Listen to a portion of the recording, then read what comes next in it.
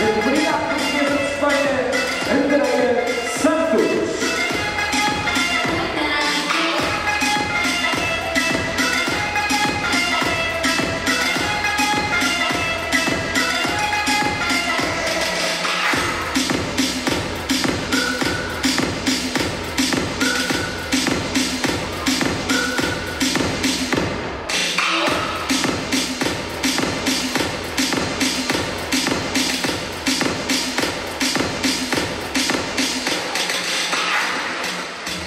Seguimos com Megan Hernandes, que nos chega da comunidade portuguesa.